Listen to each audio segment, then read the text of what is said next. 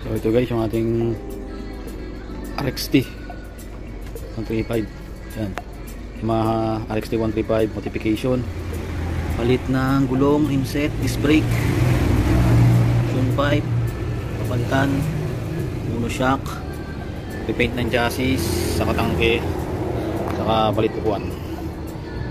Marami tayong gagawin dyan. Bulok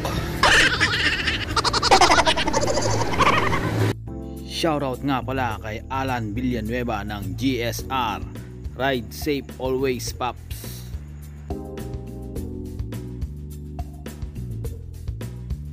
Shoutout nga pala kay Jonathan Diwa na nasa Europe. Ingat palagi dyan. At saka yung size 9 natin. Baka naman.